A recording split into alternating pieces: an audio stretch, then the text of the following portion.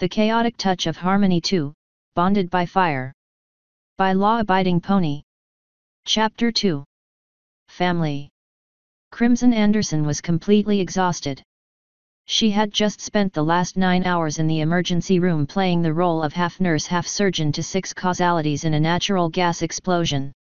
Instead of trying to catch a nap in one of the bedrooms, she decided to spend time with her son who was in the playroom with Loki watching over him. His sisters were being bathed by their parents, so he was spending his time with his grass-green aunt as they played peekaboo.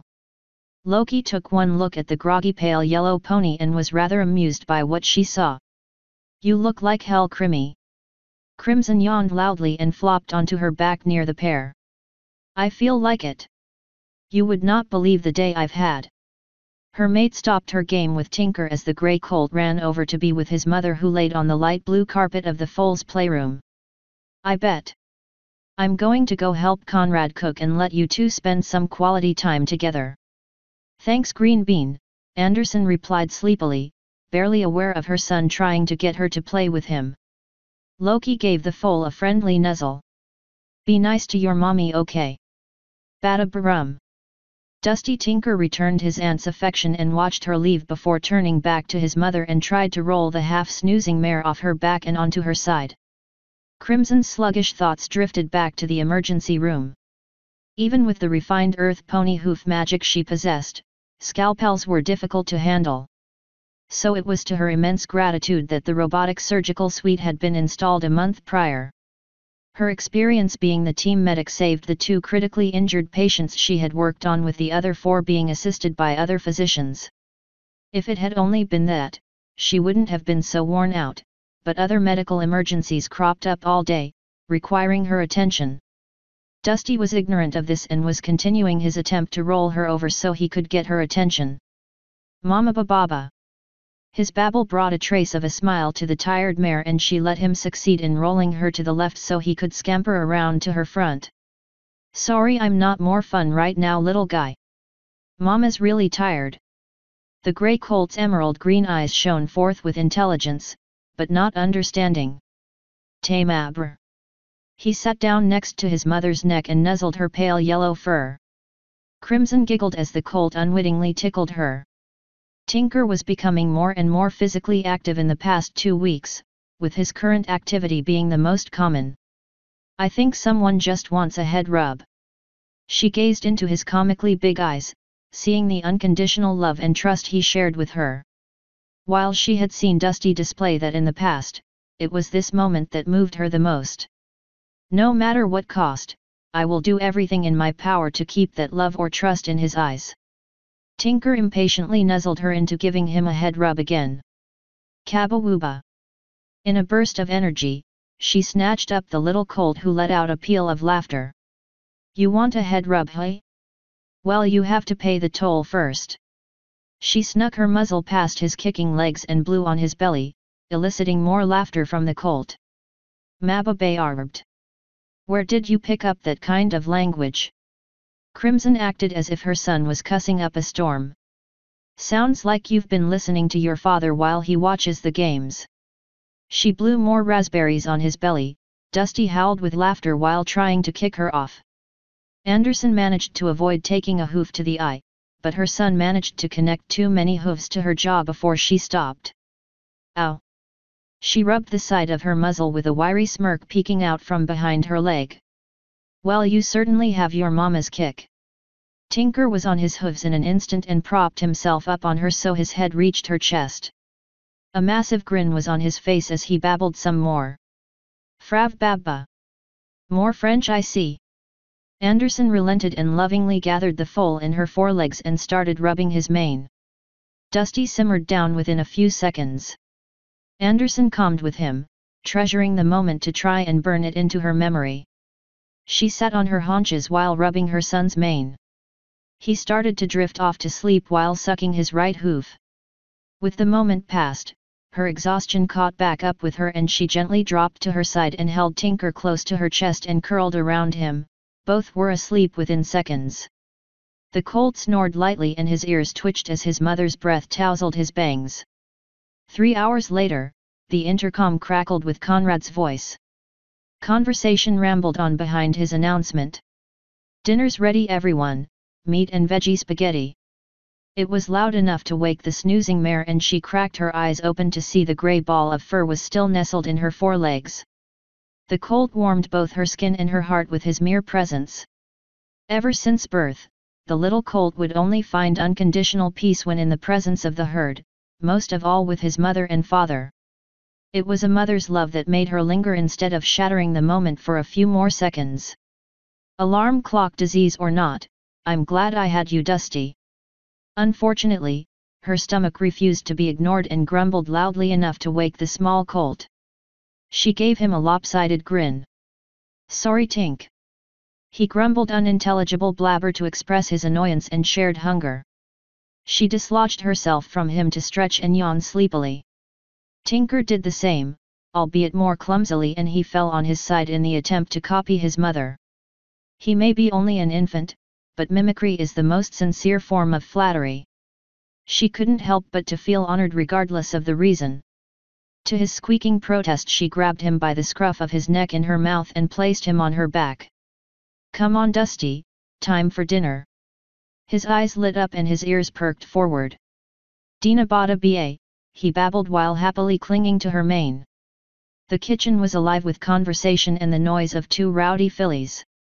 The house was built with a large family in mind and the kitchen and dining room were separated only by a change in flooring.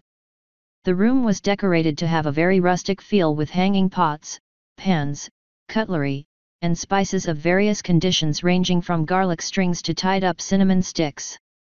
The various home appliances, microwave, electric stove, and an assortment of others were given a once-over to make it look as if it was straight out of the colonial period as if designed by not only a different interior designer, but one who had a grudge against the kitchen, the dining room looked futuristic with the entire far wall being a one-way mirror so there was an unobstructed view of Trinity below.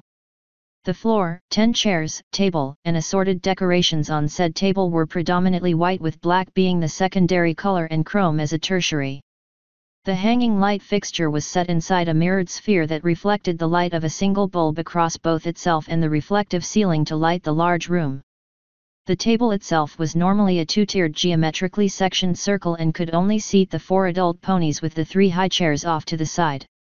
Yet there were three human guests that made that too cramped so the table had to be pulled apart into ten wedges that had two long sloping legs each. The second tier of the table remained as the anchor point and held the two steaming pots of spaghetti sauce and one for the noodles. Crimson did a double take at the sight of the guests. The first was Elizabeth, which the pale yellow mare expected to see, but the other two were her parents, Bella and Joe Anderson. Joe was enraptured by Conrad's description of the weather control service that would soon be able to branch off to cover more of Northern California. Loki was sharing jokes with Elizabeth, while Bella and Alexia set the table. Violet Spark and Aurora Sky were running around underfoot and chasing each other giggling manically all the while. Mama? Pa? Crimson said with a rare lapse into her accent. What are you doing here? The mare ran over to her mother who was closer. Having been around the ponies for over an hour, and some powerful anti-anxiety medication, Bella was able to display no outward signs of her phobia. The aging woman put her stack of plates down so she could address her daughter, only to find her grandson perched on her back. Were it not for her composure, Bella might have almost squealed in delight at the grey-furred and dirty blonde-haired colt. Well you know I hate to arrive unannounced, but your father wanted it to be a surprise. She grabbed onto a nearby countertop to brace herself to bend down and take the squirming colt into her hands. Plus you had the nerve to not fly down and let us visit our grandson. Bella's harsh words had no bite in them and she gave the pale yellow mare a warm hug after setting Dusty down for a moment. Crimson didn't complain when Bella started to stroke her mane. I would have liked to mama, but we've been so busy. Bella let go so she could scoop up her curious grandson. Oh posh! You and I both know that's no excuse to forget your manners or poor decrepit mother. But I will harass you later, she turned her attention to the wiggling foal in her arms. Right now I have a grandson to spoil rotten.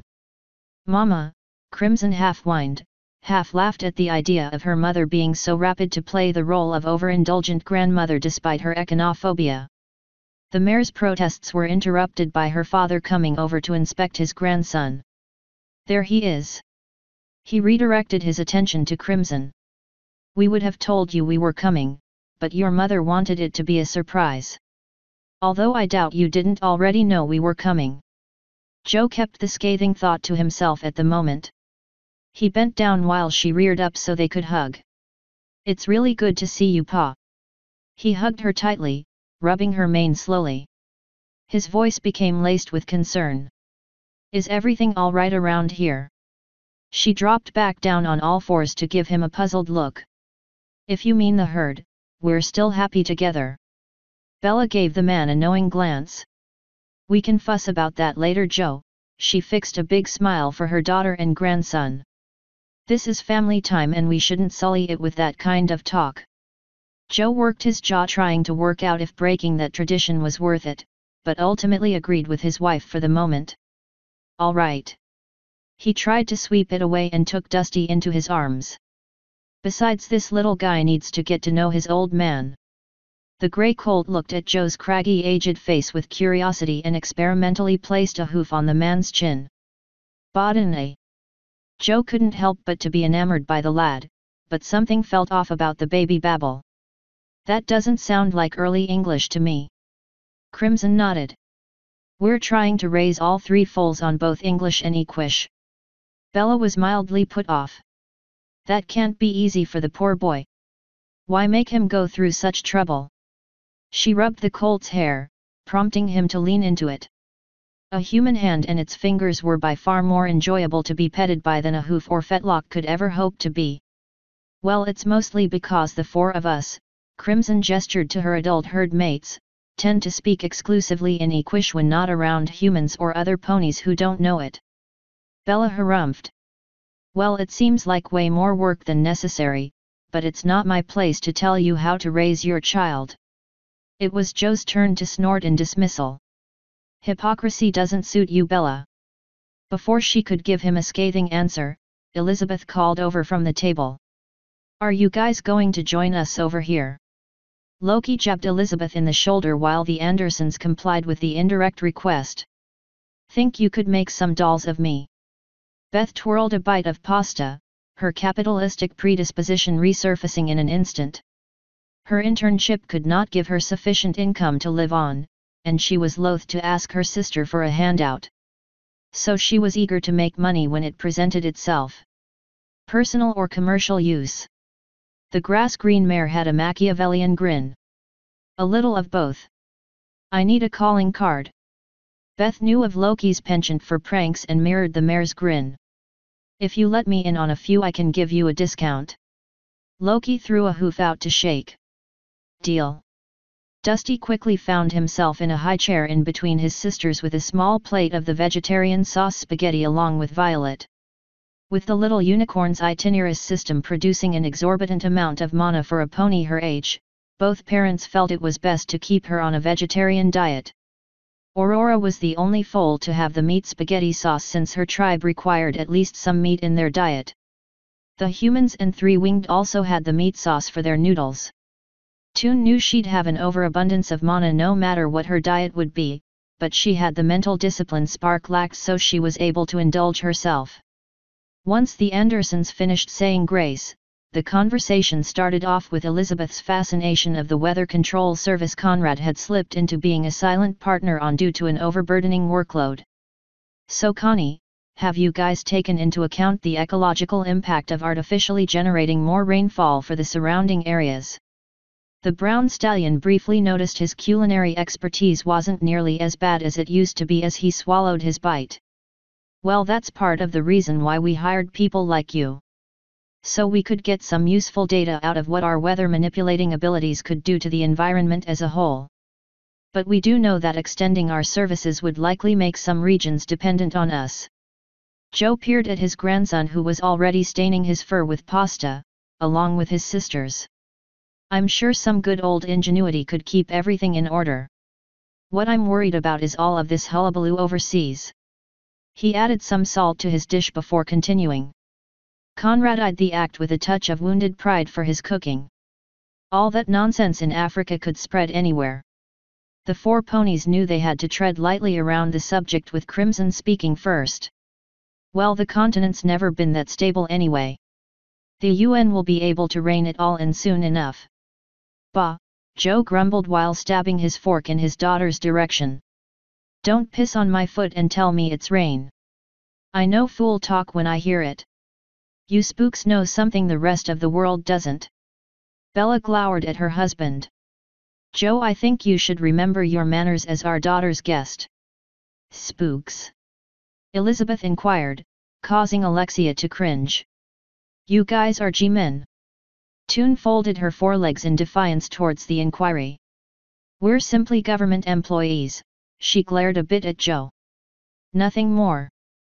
Bella nudged her husband and hissed his name to get him to drop it, but he was too upset to stop now. Well, I might believe you if we weren't met by a couple of suits that knocked on our door and told us our home was no longer safe. Crimson blanched. What? Who?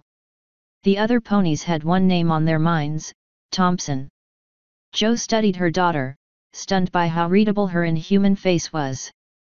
The genuine mixture of confusion, honesty, and surprise softened his tone a little. Wouldn't tell me who sent them or what branch they work for, only that we should pack up and move out. Saying some nonsense that we were critical to national security. He laughed darkly at the idea. A botanist and his housewife are not critical to the security of the nation, but I know my daughter and her family are. Crimson's indignation faltered, knowing full well what Thompson was trying to do. She returned to her meal. We had nothing to do with that. You know I would never try to get you to leave home like that pa. You may not have his piercing gaze danced around the other ponies, searching for a target to accuse. The tense moment was lost when a wad of spaghetti flew through the air and planted itself on the scowling man's head. The violet unicorn filly was howling with laughter at her successful telekinetic throw. The adults were caught between snickering to outright laughing in Loki and Elizabeth's case. The tension of the conversation bled away as the man gave up his anger. Alexia saw the signs of a preventable disaster. Spark wouldn't have that kind of power unless she was on the verge of a magic surge and her mother removed the foal from her high chair. Sorry about that Mr. Anderson, I need to take her outside before she destroys anything. He took a napkin and silently nodded in agreement while wiping the food off. He witnessed one of Violet's magic surges back at his home, and would not wish the house to suffer the same fate the bayou around his house had. Toon retreated to the backyard just as Violet's surge took full swing and caused all of the nearby toys to either float, inflate in size, or come to life and crawl around. Unfortunately that included Alexia's necklace and saddlebag contents. The crown unclasped itself to flop around the wooden deck as if it was a two-legged spider. Her small saddlebag opened on its own and its contents spilled out to roam the deck.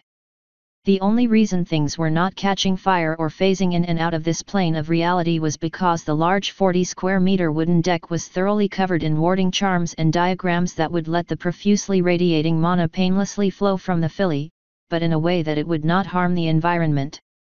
You are one diabolical little imp, the silver mare said half-jokingly at the little filly as she chased after the necklace, the foal's horn was a spear of brilliant amber light as the foal's body rapidly expelled most of her mana. Alexia reinforced the enchantment over the deck's railing and floor so nothing would sink through and get stuck underground again. Then she relocated her necklace and easily wiped the filly's mana off of it and replaced it around her neck. No, you can't have my crown either.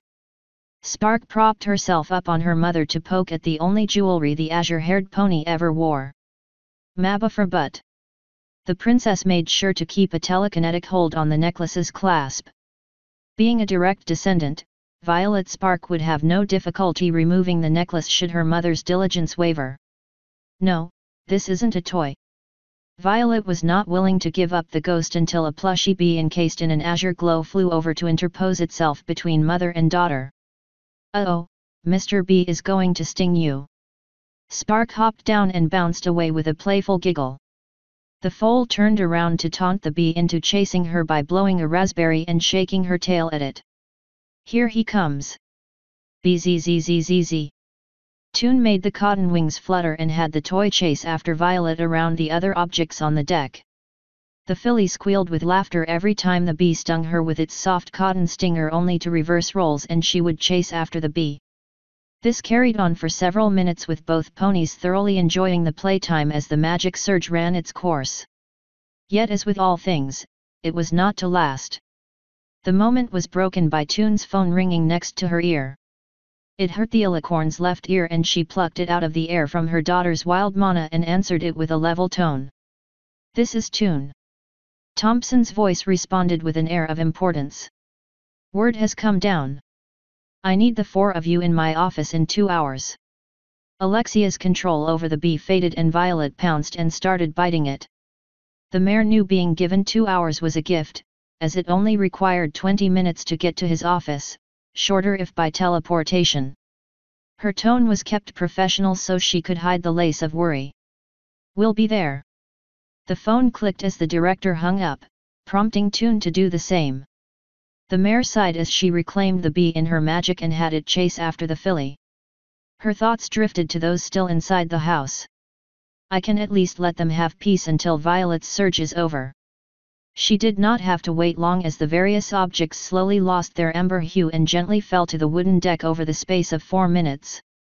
With resignation, Alexia opened the door and guided the filly back inside with the bee fleeing from the purple terror still covered head to hoof in drying red spaghetti sauce. Alexia reached the table with a practiced mask of nonchalance as she took her seat and resumed eating. The food was a little cold, but she didn't mind overmuch. Conrad could see past her mask and hazarded a question. Our little girl didn't blow a hole through the railing again did she? It was aimed at my head actually, but I managed to deflect it in time, the alicorn replied offhandedly as if it was a common occurrence. The humans at the table cast worrying glances at Spark who was happily stuffing her muzzle with more food. Although half of the meal ended up on her face or the floor. But I got a call from the head office. We need to be there in an hour and a half. He didn't catch wind of my fire hornet jars did he? The green hacker had a look of abject terror. Fire hornets. Conrad asked, suspicion written all over his face. Oh um, nothing, Loki replied as she slipped back into a casual mood while she bit into her garlic bread. Crimson ignored the pair to inquire further. Did he say why? Just business. Alexia didn't want to say anything more with the humans around. While the Andersons knew of their occupation, Elizabeth was not supposed to. However she was left with a problem and she faced Crimson's parents along with her sister. I hate to ask you all, but since you're here. I have the distinct impression that we may be out of town for a while. Do you mind watching the foals until we get back? Bella was quick to offer her services. Oh that won't be an issue at all dear. We would love the chance to get to know our grandchildren better. The southern lady spoke presumptuously for her husband who nodded in agreement. The Toon sisters found it surprising that a late middle-aged couple more or less adopted Aurora and Violet so readily. Children? As in plural. Joe pat his wife on the arm to let him answer for her after finishing his bite of garlic bread. It doesn't take a genius to know what happened with the rest your kin. He said in response to the silver mare's question. He swept a hand towards the ponies, sans his daughter. Between now and your visit at our home, we haven't heard hide nor hair of any of your kin save for Elizabeth. Now I can respect not speaking ill of others when ill is all you can say, but silence in of itself is telling. He gave a piercing stare at the rest of the adult ponies. Is there anyone who would object to us showing these Yunjins what proper grandparents should be? Crimson and Alexia were momentarily dumbstruck by the offer, while Loki shrugged playfully. If you're adopting, I wouldn't mind knowing what it's like to have real parents. Conrad bowed his head in respect. I know full well the impact a wise grandfather can have. I cannot express my gratitude enough for your offer. Loki mentally snickered at the stallion's wording. All he's missing is a katana. I think I'll grab one from the net. Bella replied with mock indignation. Well darling, don't discount the effect a kind old grandmother can have on a child's life. While Conrad tried in vain to dissuade Bella that he meant no insult Alexia mulled over the offer. Well it's sort of like having in-laws after all. So it makes sense they would extend the offer to my foals as well. Even with that cold logic, it did much to lift the mare's hopes that she could maintain a stronger personal attachment to humanity outside of just her sister alone. I think that would be wonderful. On behalf of our herd, I graciously accept. Bella gave Conrad a teasing grin before turning to the herd's alpha. The aging lady had seen how the four adult ponies kept a very loose and equalist relationship. However if anything affected them as a whole it was always Alexia who had the final word. Oh it's really not a thing dearie. All four of you are one big family, so it's only proper that we see your sprouts in the same light as Dusty. Even then, they are our son-in-law's children after all. Joe returned his hand to his meal. She speaks for us both. And I would be lying if I said those little girls hadn't grown on me back in Louisiana. He subconsciously rubbed the spot where the little unicorn pegged him with spaghetti earlier. And I do have a soft spot for fiery individuals. Bella gave him a coy grin. Crimson grinned happily at that. Well that certainly describes the three of them that's for sure. The rest of the meal lapsed into small talk about the differences in how to care for a foal instead of a human baby until it was time for the herd to leave. Alexia fussed with Elizabeth at the front door. Now remember to take Violet to the back deck when she has a magic surge. The house can't take too many more episodes of hers indoors. Now when Aurora starts floating around, you need to keep her in your arms or tethered to something soft when her surge cuts off and gravity reclaims her. Elizabeth filed the information away in her head. You act as if you know you're leaving for a while. The alicorn shrugged with her wings. I'm just covering my bases. You know I've told you. That your job can be chaotic at times, yes, you've told me. The teenager cut off. Don't worry, I have Mr. and Mrs. A to help out. We can handle three little foals. Toon looked at the Andersons to find Sky and Spark chasing each other under Bella's feet while Dusty Tinker was crying because his mother was leaving him to get in the car. I think you'll be lucky if they don't turn you off to having kids of your own someday. Pa, and let the family line be carried on by ponies only? You can forget that, I just need to find a good man to latch onto. Alexia raised a condescending eyebrow. The apple doesn't fall far does it? Beth feigned insult. I'm in no hurry. I'm looking for a fellow scientist so we can go on expeditions together, not a money tree. As much as the silver alicorn wished to keep teasing her, Thompson was willing to wait only so long. She reared up and hugged Beth. The mare wrapped her wings around her sister, in an attempt to hold on to the moment as long as possible. I love you so much sis. Thank you for being here. The young woman noticed the slight emotional warble in the mare's voice and interpreted it as it being lingering pain from their parents' rejection. You should just forget those jerks. Alexia looked up to meet Beth's stern frown. They want to hang on to irrelevant traditions out of spite, then ignore them. Beth squeezed the alicorn tightly. As far as I'm concerned, you're the only family that matters anymore. Alexia had actually been more concerned that Elizabeth was safe in Trinity, but decided to play it out as if her sister had been accurate. The proclamation still managed to draw some silent tears out of her. Thanks Beth. I needed that. The sisters embraced for several silent seconds until Beth tried to lighten the mood. You've gotten really sappy since you grew fur. Alexia gave a short laugh at the mockery prompting her sister to continue. When you get back, do you wanna watch Big Miracle? I always loved that movie. Now back on all fours, the alicorn looked up to her little sister with puffy red eyes and a weak smile. Why not? I may actually like it this time. Loki stuck her head out of the car towards the only remaining member of the herd who wasn't in the vehicle. Are you going to ride with us or blink over? I better not. I need time to compose myself. I'll be right there, she called back before returning to her sister. One last thing. Don't drive the Andersons nuts. I know how you can get. Beth scrunched her face at the fierce debate raging in her head. No promises. Beth, Alexia replied warningly. The younger sister held her ground. I will make the attempt, but I'm still not promising anything. Toon grinned at her sister. Elizabeth was still her same old self. Fair enough. The four ponies waved their final goodbyes to the three humans and three foals before heading off towards Section 9's headquarters. Asterisk. Section 9's head office was located half a mile northeast from the town hall and was the only building with a heavy-duty concrete wall and security gate. Set at 10-yard intervals on top of the fence, were crystals that radiated a semi-opaque white barrier that blocked all access from the air so the only way to enter the area was through the front gate. The crystals ran off electricity thanks to power converters designed by Brad and Marcy's Enchantment Company. It allowed a second smaller crystal to convert electrical power into mana for the barrier crystals. The main office was also the only structure in town that was over five stories tall, reaching a total of seven. While Section 9 was originally established to be the intelligence agency's equine division, Thompson and Toon both agreed that it was best to have joint species teams when possible. The herd dropped the car off at the first basement parking garage and took the elevator to the third floor.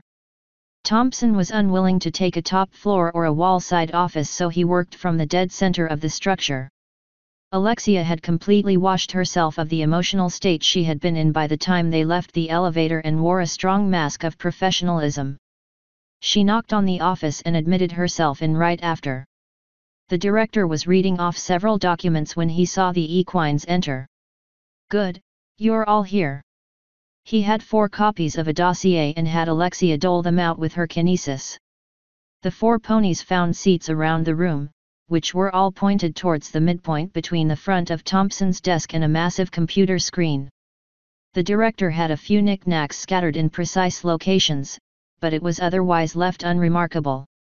Alexia's herd were not the only people to enter his office and he wanted nothing that could hint too strongly into his personal life. He was a strong believer in separating work and his personal life. This was one of the few things he had in common with most of his superiors, but he was unconventional in others.